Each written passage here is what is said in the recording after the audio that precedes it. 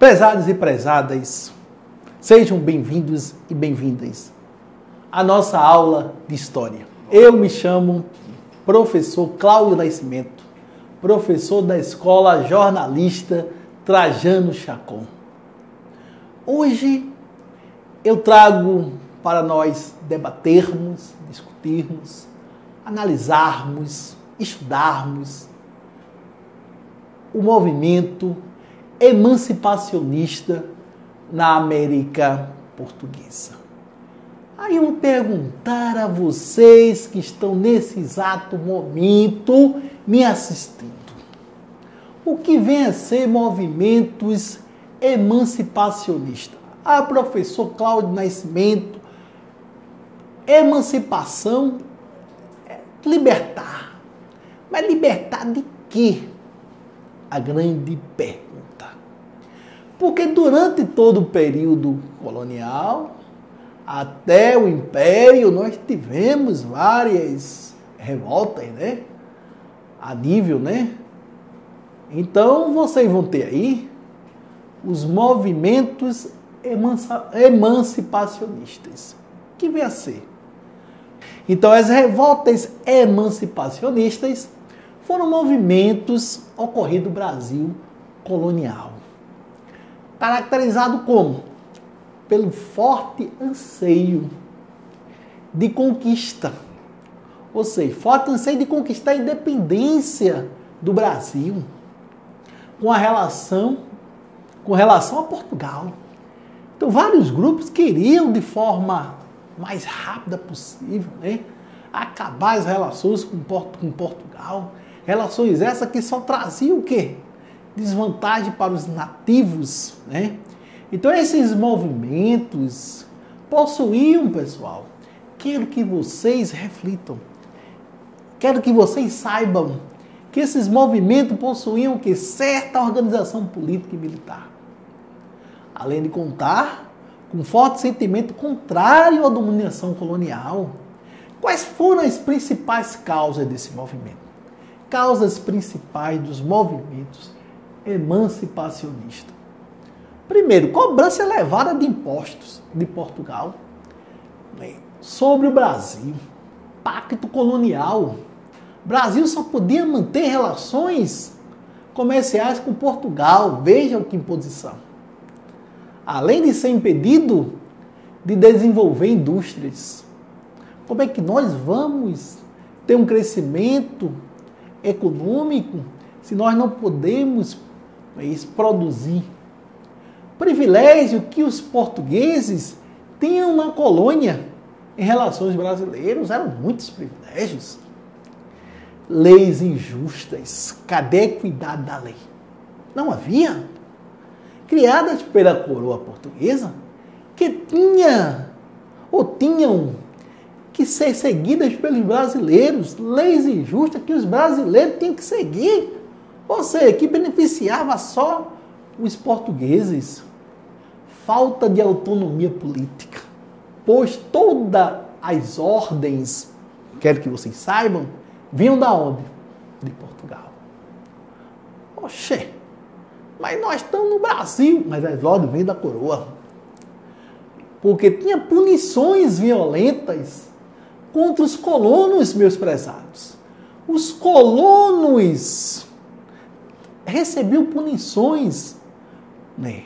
Então, punições violentas contra os colonos brasileiros que não seguiam as determinações de Portugal. Ai daquele que desobedecesse às ordens da coroa.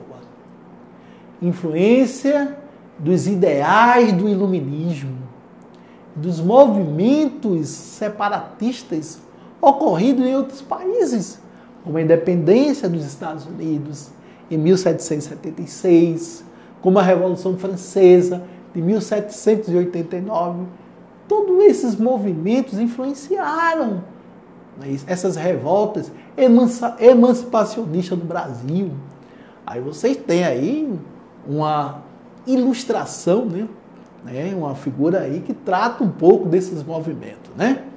Então, conforme vocês observaram minhas colocações iniciais, Os movimentos emancipacionistas, na realidade, surgiram devido à insatisfação da sociedade brasileira em relação às leis, em relação aos privilégios, ao tratamento dado aos nativos em relação aos. Mas antes de nós citarmos algumas revoltas emancipacionistas, vamos falar um pouco, prezados e prezadas, dos movimentos nativistas. Ah, movimento nativista, movimento nativista, né? movimento ocorrido né, pelos nativos, né? Então nós temos a revolta de Beckman. O que foi a revolta de Beckman? Revolta de Beckman foi um movimento nativista ocorrido, pessoal, na cidade de São Luís, estado do Maranhão, em 1684, que mostra o conflito de quem? De interesse entre os colonos e a metrópole. Uma revolta que mostrou os problemas de mão de obra e abastecimento na região do Maranhão. Não tinha nada a ver com separação de Portugal. Era um movimento que o objetivo, na realidade, era briga em metrópole e colonos. Né? Então, as ações da coroa, pessoal, da coroa portuguesa, que claramente favorecia Portugal e prejudicava os interesses dos brasileiros foram muitas vezes motivo de reações violentas dos comuns. Geralmente eram reprimidas com violência, pois a coroa não abria mão da ordem e obediência é isso, em sua principal colônia. Então o objetivo principal disso aí a finalizar as atividades da Companhia do Comércio do Maranhão para acabar com o monopólio. Então, o objetivo foi esse. E como ocorreu? Na noite de 24 de fevereiro de 1684. Então, os irmãos Manuel Tomás Beckman, não é isso? Manuel e Tomás Beckman, dois proprietários, não é isso? Rurais da região. Com o apoio dos comerciantes, invadiram e saquearam o depósito da Companhia de Comércio Maranhão. Os revoltosos também expulsaram os jesuítas da região e tiraram do poder o governador. Vejam só o que os irmãos Beckman fizeram. Quem foram os irmãos Beckman? Manuel e Tomás Beckman. Hein? Reação da coroa. Imagina a reação da coroa, pessoal. Como foi a reação da coroa? Imaginem. A coroa portuguesa enviou ao Maranhão que um novo governador para acabar com a revolta e colocar ordem na região. Revoltosos foram presos, julgados e os irmãos Beckman e Jorge Sampaio foram condenados à forca. Foram condenados à forca. Outra revolta de cunho nativista. Guerra das Emboadas. Quem era Emboadas? A forasteiros. Aí, briga de bandeirante, hein? De um lado, os paulistas, do outro lado, os portugueses. Olha, brincadeira, hein? Conflito armado. Eita, por, por ouro. Brinca, brinca. Queres ou não queres? Conflito por ouro. E agora? Conflito armado ocorrendo na região da onde? Das Minas Gerais entre os anos de 1707 e 1709, envolvendo bandeirante paulista e os emboabas, portugueses, imigrantes de outras regiões, que era considerado o quê? Forasteiros. Né? O confronto tinha como causa principal a disputa, pessoal, pela exploração das minas de ouro recém-descoberta. Olha, quem é que iria abrir mão de uma mina de ouro. Vamos disputar agora na bala, né? Recém-descobertas na região das Minas Gerais. Então, os paulistas queriam a exclusividade da exploração da região, pois afirmavam que tinham descoberto as minas. Então, ali os Emboabas era liderado por Manuel Nunes Viana. Os paulistas eram comandados pelos, pelo bandeirante Borba Gato. Principais consequências. Os paulistas foram derrotados. E a coroa portuguesa criou a capitania de São Paulo. A cobrança do quinto foi regulamentada. Era um problema futuro, hein? Isso aí já gerou um problema futuro, cobrança de quinto, sobre o ouro. A coroa portuguesa, após acabar com o conflito e pacificar a região, isso. O que, é que ela fez?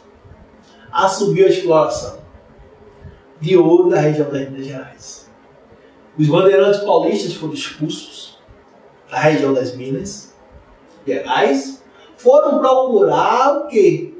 em busca, foram procurar em busca de ouro nas regiões de Goiás e Mato Grosso. Encontraram nessas áreas novas minas para explorar. Aí surge uma guerra muito interessante. A Guerra dos Mascates. Uma guerra que está aqui no nosso nariz Professor, qual o nascimento? Por que o nosso nariz? Porque ela vai envolver o quê? Ela vai envolver simplesmente as duas cidades, Olinda e Recife. Então, de um lado, Recife, do outro lado, Olinda. Então, a Guerra dos Mascados foi um movimento ativista que ocorreu na capitania de Pernambuco durante o período colonial. O movimento, pessoal, aconteceu por conta da rivalidade entre as duas cidades, rivalidades locais, e não visava o rompimento com a metrópole. Isto é, não era emancipacionista. Era uma briga de duas cidades. O conflito se deu entre os senhores de engenho de Olinda e os comerciantes portugueses de Recife. Em disputa pelo quê? Pelo poder local. A guerra recebeu esse nome devido à participação de, dos comerciantes portugueses. Consequências desse conflito. Sabemos que não é um conflito emancipacionista e sim nativista. É isso. Ao fim da guerra, o novo governador terminou que, que os principais líderes do movimento fossem presos. Além disso, em 1712, Recife recebeu o título de cidade e capital de Pernambuco, o que evidencia o favorecimento dos comerciantes portugueses pela coroa portuguesa.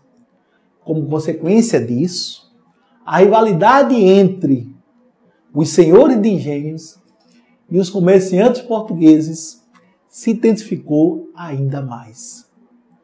Após dois anos do fim da Guerra dos Mascates, em 1714, o rei que governava na época, Dom João V, concedeu anistia às pessoas que participaram do conflito, desde que não houvesse mais conflito ou confrontos.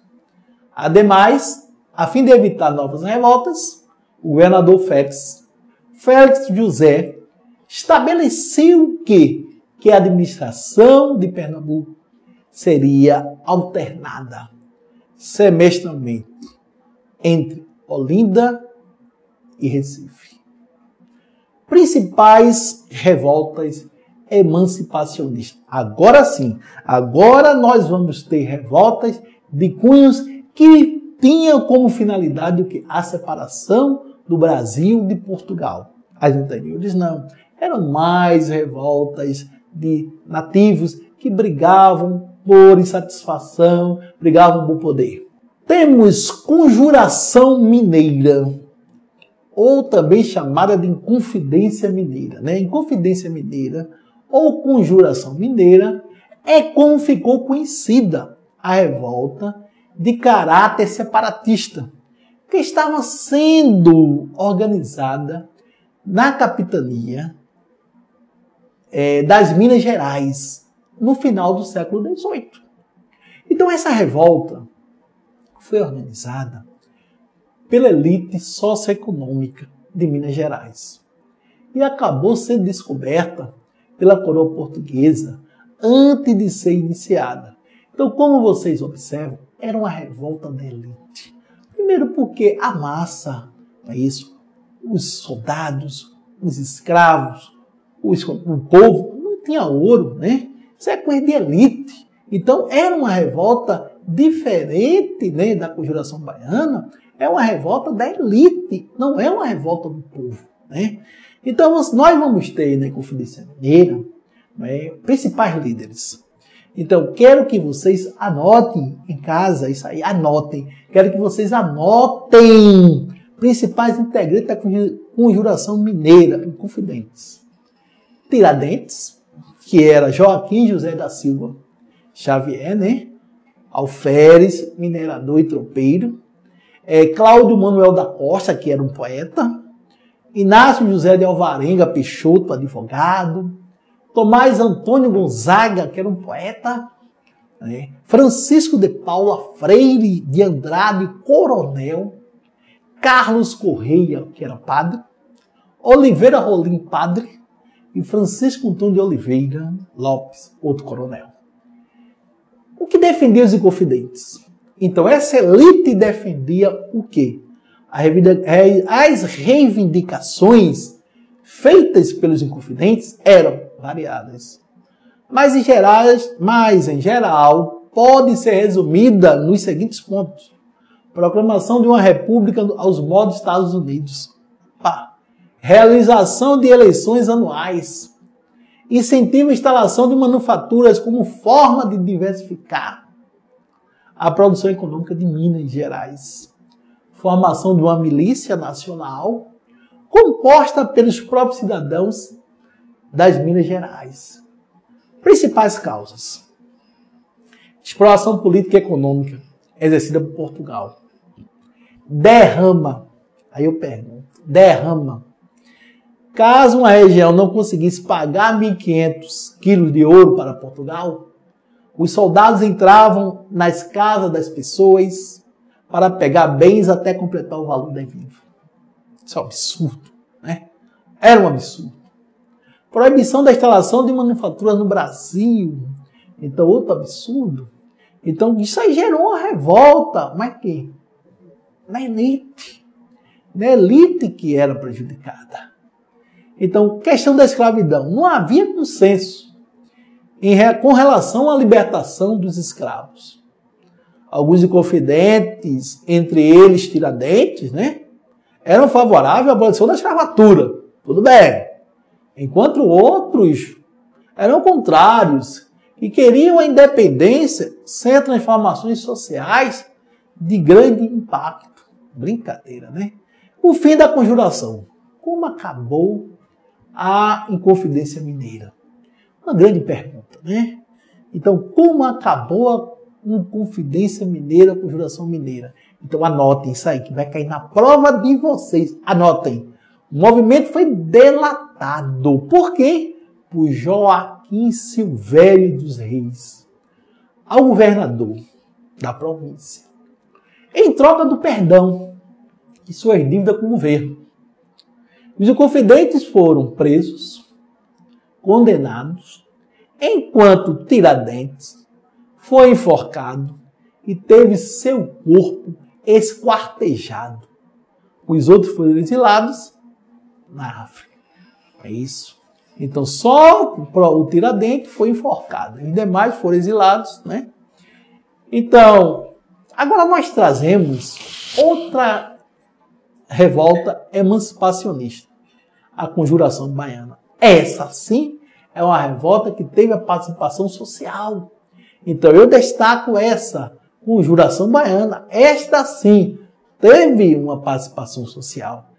Também conhecida como revolta dos alfaiates.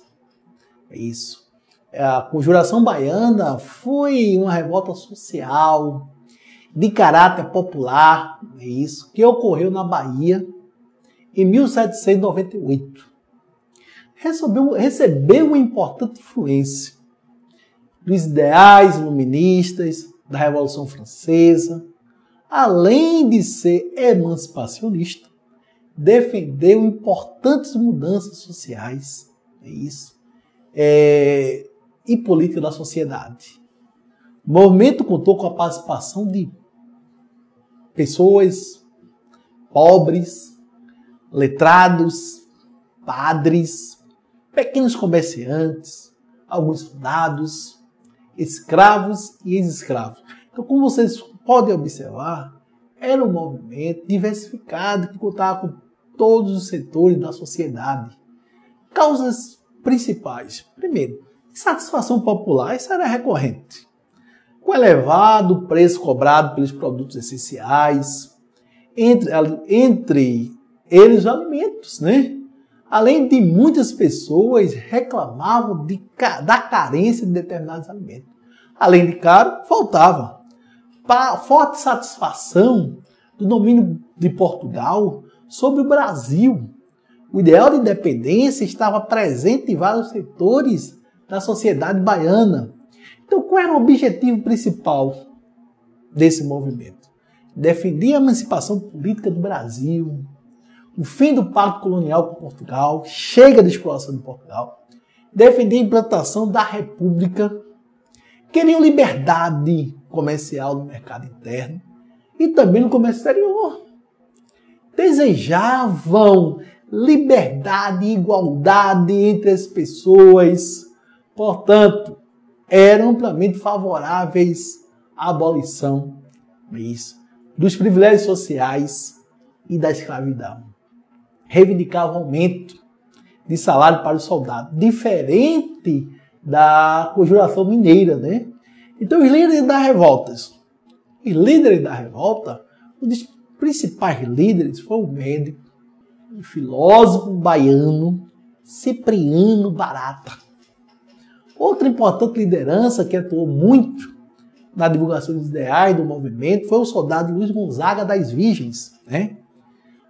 Também podemos citar, também tiveram grande participação no movimento, os alfaiates Manuel, Faustino, os Santos Lira e João de Deus do Nascimento. É importante, pessoal, que vocês gravem esses nomes aí. É isso que vai cair na prova de vocês, de grande relevância, é isso aí. Então, por gentileza, você que está me assistindo, decore esses nomes, ok? Agora nós vamos para a Revolução Pernambucana 1817. Eita! Chegamos a Pernambuco. É, não poderíamos deixar de lado Pernambuco. O que foi a revolta de 1817? Ah, foi um movimento social, professor. Revolta de caráter emancipacionista ocorrido em Pernambuco. No ano de 1817, assim como nas outras, nos outros estados, é isso. Pernambuco também, é, a sociedade pernambucana está insatisfeita com a política portuguesa. Então é considerado um dos mais importantes movimentos de caráter revolucionário do período colonial brasileiro.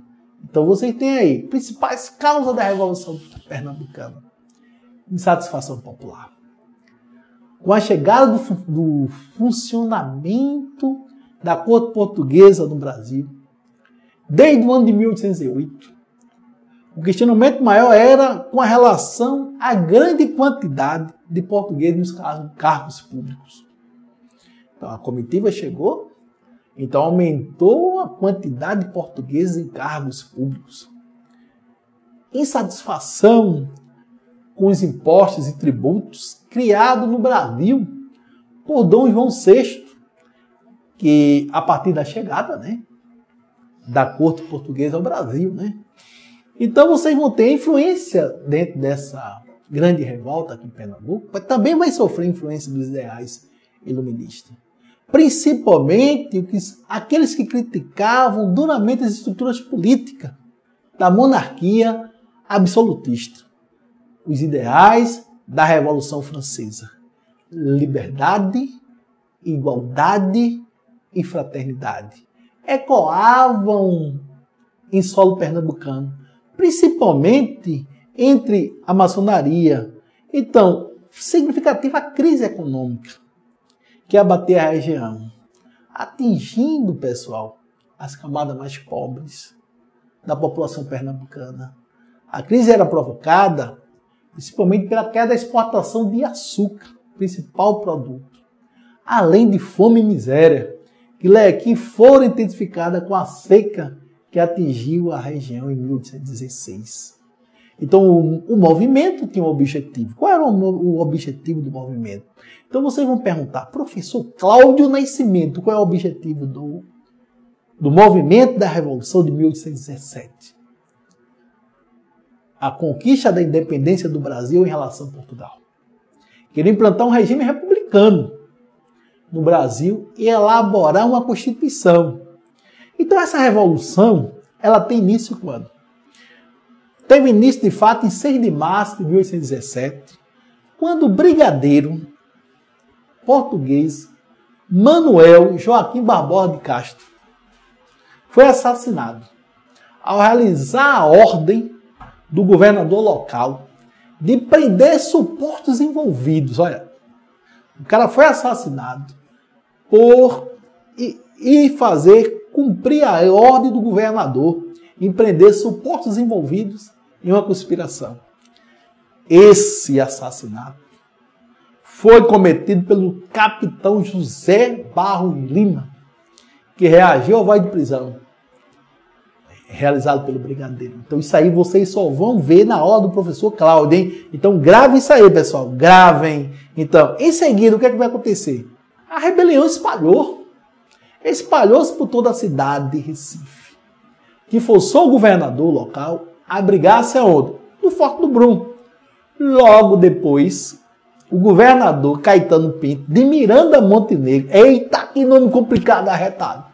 Caetano Pinto, de Miranda Montenegro, fugiu para a capital do Rio de Janeiro.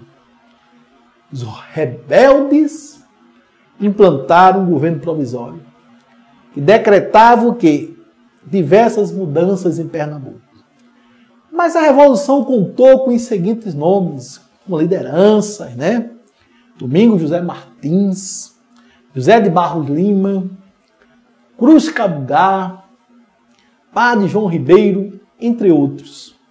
Então, na realidade, principais medidas desse governo provisório. Proclamação da República, olha, na capitania de Pernambuco.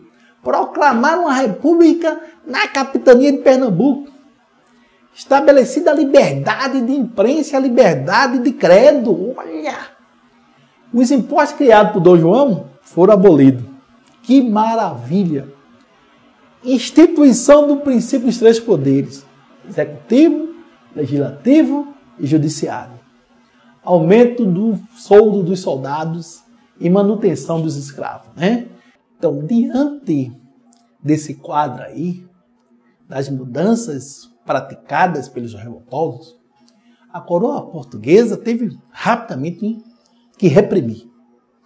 Então, Dom João VI, preocupado que isso é, ampliasse por outras províncias, ele mandou um efetivo né, para combater os infiéis. Então, esse, essas tropas cercaram o Recife e os embates duraram 75 dias. Os revoltosos, os derrotados, foram presos e condenados à morte, né? Então, por ordem de Dom João, os líderes do movimento tiveram punições exemplares.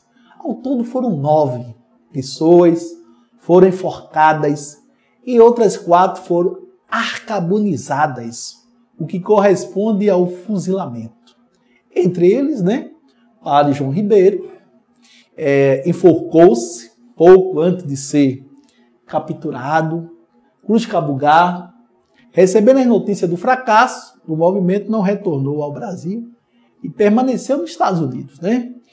Então o movimento enfraqueceu por causa de divergências internas, lideranças, o que permitiu que as tropas reais retornassem ao controle sobre a Paraíba, Rio Grande do Norte e do Ceará. Então, em Pernambuco, a revolta resistiu até dia 20 de maio de 1817, quando os líderes renderam-se ao general Luiz do Rio Barreto, após a cidade de Recife, ser invadido. Então, prezados e prezadas, aqui eu me despeço de vocês, agradecendo novamente a oportunidade de nós estarmos aqui trocando conhecimento. Espero que esse conhecimento seja de grande relevância para vocês. Muitíssimo obrigado. É isso. Um grande abraço do professor Cláudio Nascimento. O queres ou não queres? Obrigado.